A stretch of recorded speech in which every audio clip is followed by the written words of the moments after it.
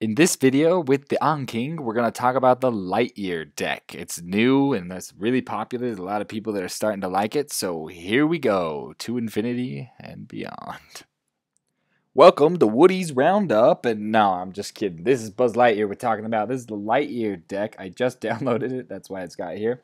And I'll kind of show you how to use it and then how to what the difference is between Lightyear and Zanki. I'm going to go over here to the Med School Anki page. Again, on the side here are all the decks you can do.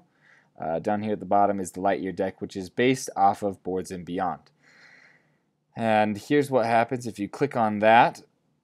Lightyear tells you there's about 22,500 cards. It's pretty similar to Zanki, and they used the hierarchical tags add-on. You need to get the add-on before you get the deck. That's important. It'll make your life a million times easier and he has tagged it in four different ways. There's BAB for the boards and beyond. This is the majority of it.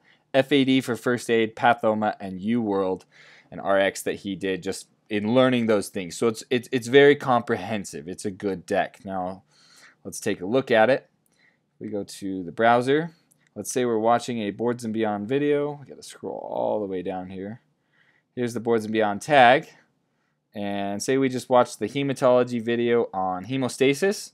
And there you go. You can see he's got all the videos that Boards of Beyond has, which is amazing because you can click this. There's 40 cards associated with this. It, it, the strongest point for Lightyear is it is super easy to get your cards. You watch the video, unlock the cards. Watch the video, unlock the cards. It is really easy.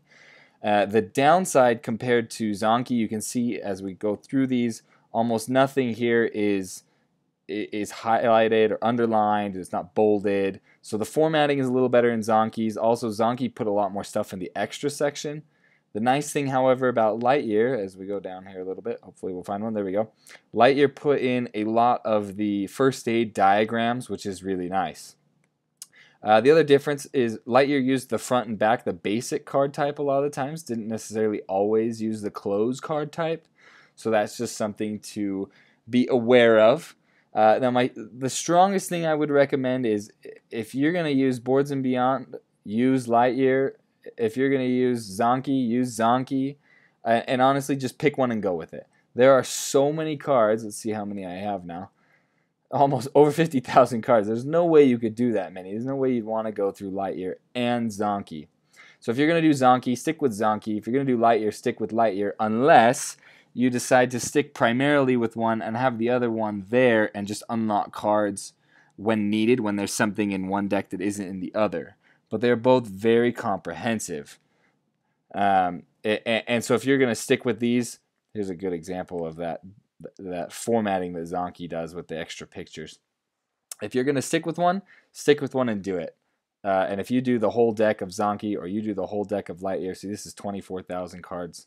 Lightyear's almost 23.